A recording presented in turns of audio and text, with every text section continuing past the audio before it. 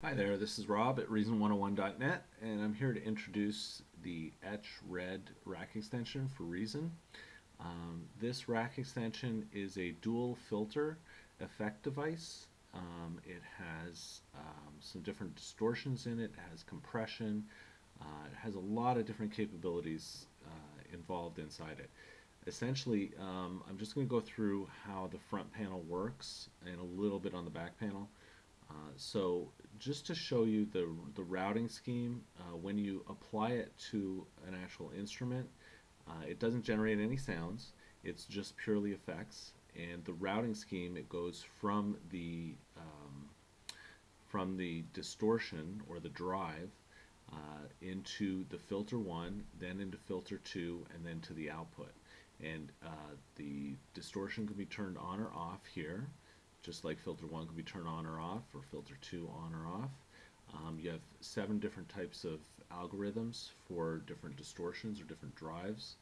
Um, and then in filter 1, you've got the input level knob for filter 1, you've got the frequency of filter 1, you've got the FM uh, frequency modulation, which means that you use an audio source to modulate the filter frequency, or um, by default you're using up here it says FM LFO you can either use, either use LFO1 or LFO2 to frequency modulate the, um, the frequency of the filter.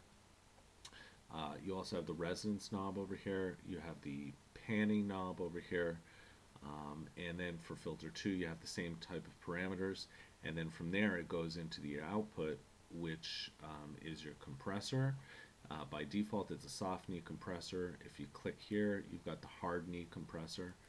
Um, and you've also got filter 1 output and filter 2 output, which is really nice because you can independently set the level of each of the filters. Then you've got the level knob, which is the overall level for the device. Uh, then you've got a mix knob, which is like your dry-wet knob.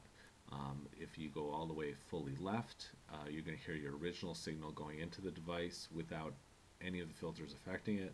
If you go to 100%, you're going to hear only the filters affecting your sound. Um, the other nice thing is that you've got a post light up here, which is a switch to uh, send your distortion after the filters. Uh, so with the post drive turned on, it'll go. The routing will go from filter one to filter two, then to the distortion, then to the output. Um, with it off, it goes to the distortion first, then to filter 1, then to filter 2, then to the output. Um, the other nice thing is that the filters can be set up in series, um, and by default that's how they're set up. So that means that it goes from filter 1 to filter 2, and then to the output. If you click here for parallel, um, the filters both go in parallel to the output. So that's what that switch is for. Um, now the middle section is where things get a little tricky. Uh, this is what's called the modulation source selection section. And this gives you 10 different sources um, through which you can modulate each of these parameters.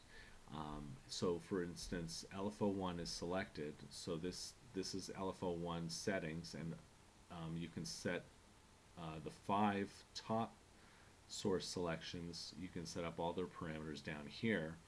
Um, so if with LFO1 selected, you basically uh, click here to select each of your sources.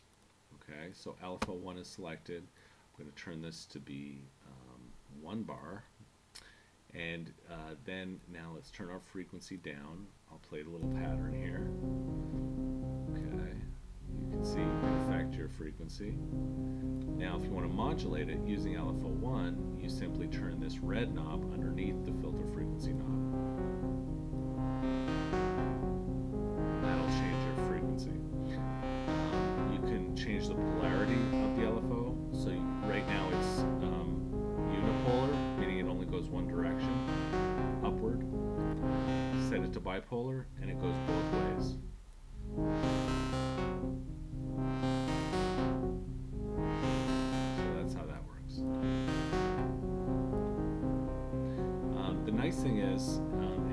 gets tricky is if you have filter, you have LFO one affecting filter frequency, um, and let's check this so you can get the full effect. Now, if you have LFO 2 selected, change LFO 2's rate to 116, for example.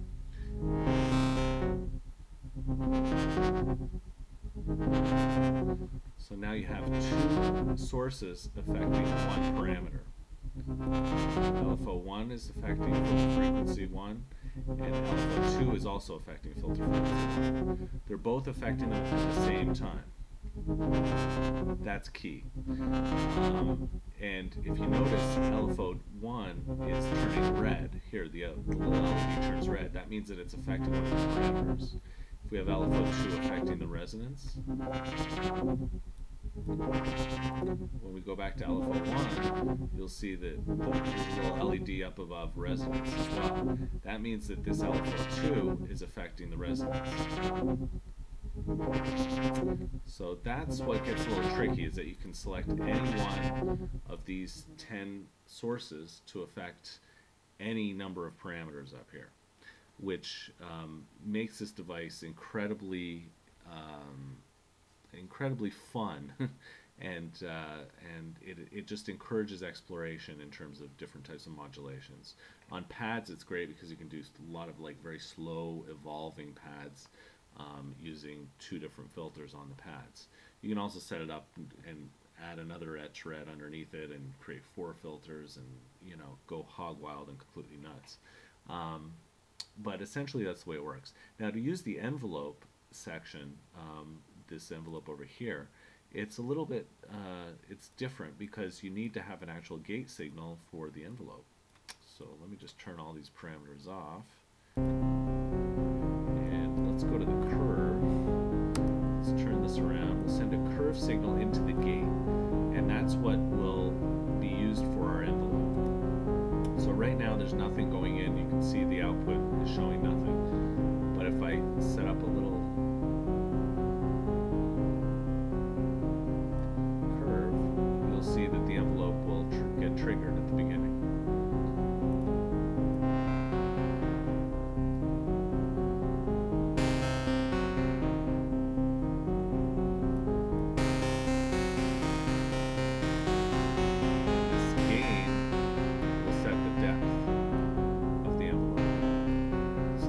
Sets how, how hard it.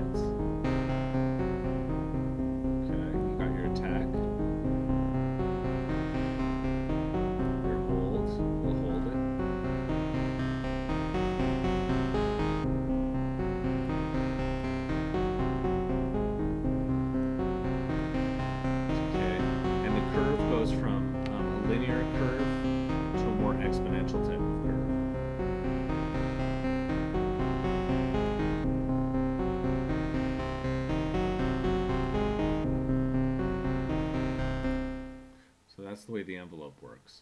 Um, you've also got the LFO. Um, this syncs the LFO, or um, you can create it, have it free flowing. Um, so let's just have the LFO one affecting the filter frequency. so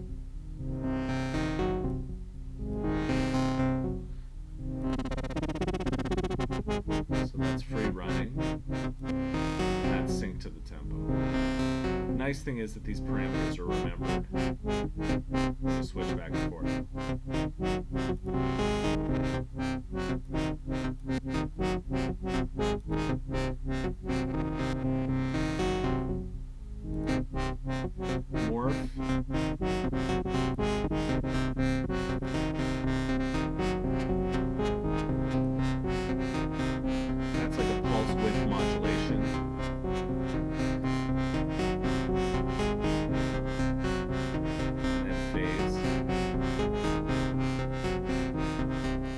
So the pulse width mod or the morph or the pulse width modulation um, affects um, essentially uh, how wide or how narrow the cycle of the LFO is. Uh, phase is where the cycle of the LFO starts, um, and uh, then your gain is how strong or how um, or how shallow the signal. Um, it's like kind of like a trim knob for for um, the LFO. Then the LFO2 has the same parameters. Um, the follower has an attack, a decay, and a level. Um, the level on the follower is essentially um, how do I explain this? Okay, the level, if it's at 100%, the level, the follower's input is 100%, but you can reduce the actual input for the follower. The gain is the output for the follower. That's kind of the way I think of it. Um, and it's also got a high pass filter, which you can turn on or off. Um, the sample and hold is another one of those interesting parameters. It has an internal noise generator associated with it to use as kind of like a random um, modulation source. So let's uh, turn this down again. Let's play it. Let's take the sample and hold.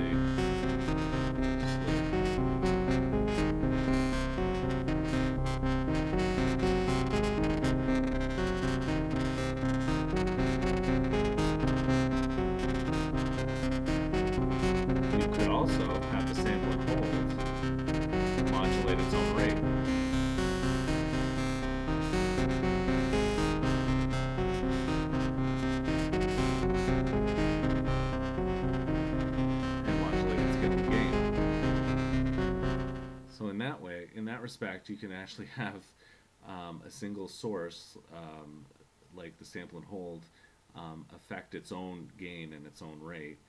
Um, or you can have different parameters like the LFO1 affecting the sample and holds rate and gain. Um, so in that respect, you can create a lot of different variations and some very complex modulations. So I hope that gives you a good introduction to what Etch Red is all about.